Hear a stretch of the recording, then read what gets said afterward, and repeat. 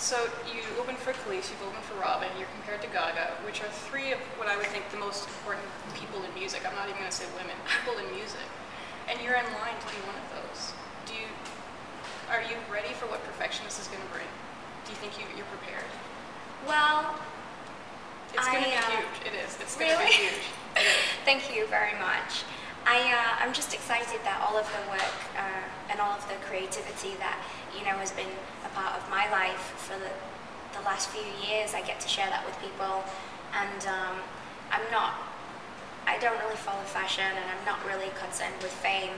Um, but you know, both things are very, both things are very welcome. But I'll still be making music, even if uh, perfectionist, you know, isn't uh, isn't everything people think it's going to be. I'll make music. I love music. Um, so I don't know. I'm not really worried. I'm, I'm excited. I get to share it with people, but I, I don't really mind how publicly successful it is because the main success is happiness, and I love.